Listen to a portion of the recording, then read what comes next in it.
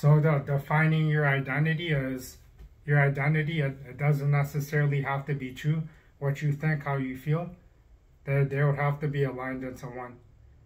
And I was thinking that uh, when, when I look at my pictures, when I look at other people's pictures, you could you could see who they are based on whether or not they're smiling, their facial expressions, what their body looks like, their fashion, the things that they're doing. And they say that a picture can say a thousand words.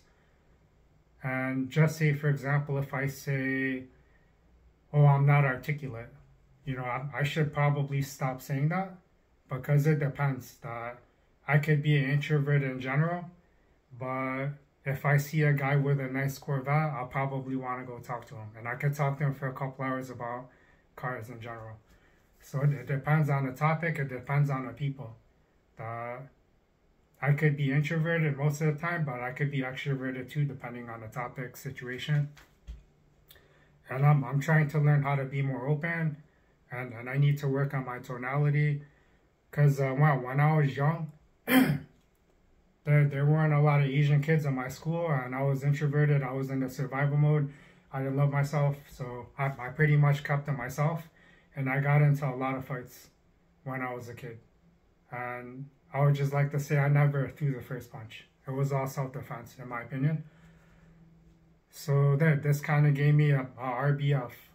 The, my, my face, it's like, stay away from me. Don't even come at me because if, if you want to fight me, then um, I would defend myself. It is what it is. And I just don't look like too too friendly so that people come at me or, or they want to mess with me or some, some reason. So uh, these are things that I'm trying to fix in my adult life.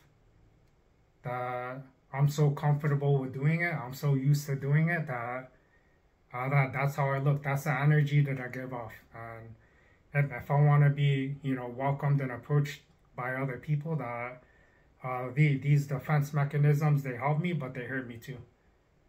Like they, they help me physically, but then they hurt me on a, a mental level. So you, you could see who I am by looking at my pictures because they say a thousand words. And also, you're, you're attracting a mirror of yourself. So however you're presenting yourself, you're going to attract another person that is the same. Uh, maybe they have similar problems or strengths. So just, just keep that in mind that, you know, you're, you're the common denominator. You're, you're make mistakes in, in your life and hopefully you could be aware of them to, to fix them because I, I think that uh, when I was young, I, I just accepted, you know, um, I grew up without my mother, so um, I, I just had a void in my heart. And I think that I always wondered who I would be if I grew up with her. But I'm pretty sure, you know, it doesn't matter which parent I grew up with, my, my life would be, it wouldn't be optimal. And I'm pretty sure I don't I don't blame my parents because their lives I'm assuming they weren't optimal either. And I'm, I was also thinking that uh, in Asian culture, they don't necessarily favor or treat the female properly versus the, the boy. And maybe they, they would spoil the boy and they wouldn't necessarily treasure the female. And it's unfortunate that uh, may, maybe my mother, she, she wasn't necessarily favored because uh, she had three brothers they were all six foot, you know, and then I was like, what happened to me? but I, I, I always wonder, and you know, as an adult, it's it's in the past already, and, and, and you can't really use it as, as an excuse. So, well, well, whatever your beef is with your family, ho hopefully you you could ask why, be aware of it, and try and solve your problems. Uh, try and reach out to your family if you want to.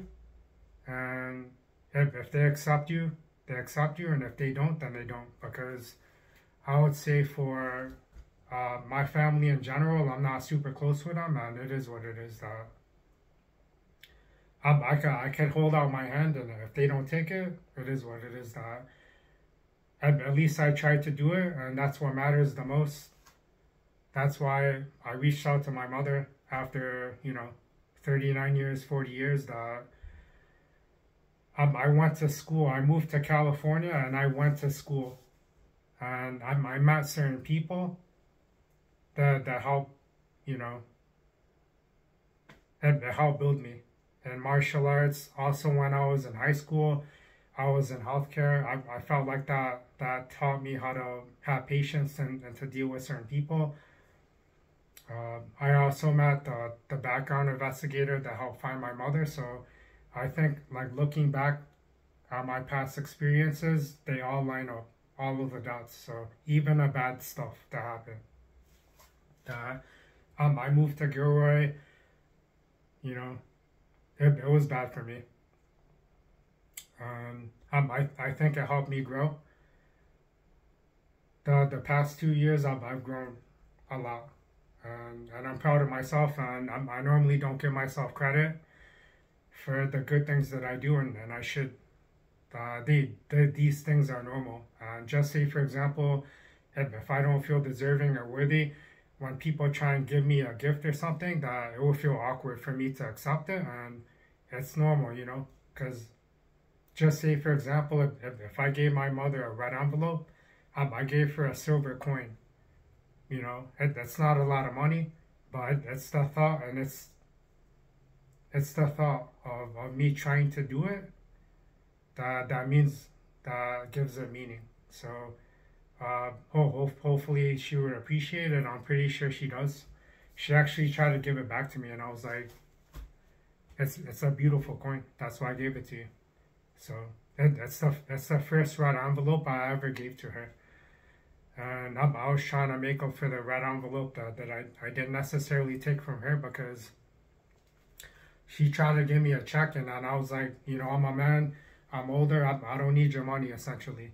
And he, even when she came out, I was like, I, I got you, well, whatever you need, I, I'll pay for it. So she tried to give me money for like uh, her airplane tickets and the hotels and I was like, that's all good, you know. I, I had already budgeted these things out that that's why you should have a budget so the a map so you know what you can do when you can do it when you can make these moves and when you can't.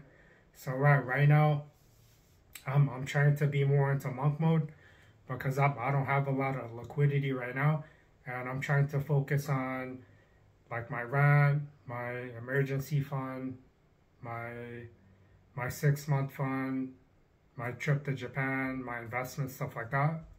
So Oh, also another tidbit in that book was uh, each dollar you spend right now is five dollars you're not going to have in the future. Because if you invested the money, then you will have it later. And essentially, what's what is retirement?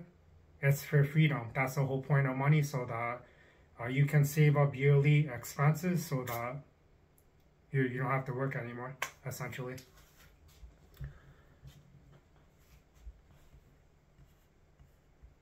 So, other people's destinies, they might not be your destiny. So, just say, for example, if someone's like, oh, move in with me, have a baby with me, buy a house with me, if, if that's not where your goals align, then don't go. Because you you will regret it later. If, if it's not something that you necessarily want. Because I've, I've, I've heard people say, I regret having my kids, or I regret buying this house on uh, it, it's something that I don't want to say it. And, and I know that sounds kind of negative, but for me, I'm, I know I know me. Uh, if, I bought a house, it would be a mistake. Because to buy a house in California, you know, I, my mortgage will probably be like five grand or whatever, you know. I would have to figure out how to make that amount of money before um, I could do these kinds of things. So Sometimes you outgrow certain relationships, such as your family, your friends, or your romantic people, or certain strangers that you meet, and that's okay. You know that they're they're just there for you to learn, to get better, and it's best not to get attached to certain people that aren't helping you go to the places where you need to go because you need to love yourself and you need to love where you're going over everybody. So look, look out for number one that that's what you guys gotta do. And and I know it sounds kind of selfish, but in the grand scheme of things, that that's how we're designed. That's how we're built. I'm not saying don't give back, but uh, see see your vision in a long view, and not necessarily what's in front of you for the next five minutes.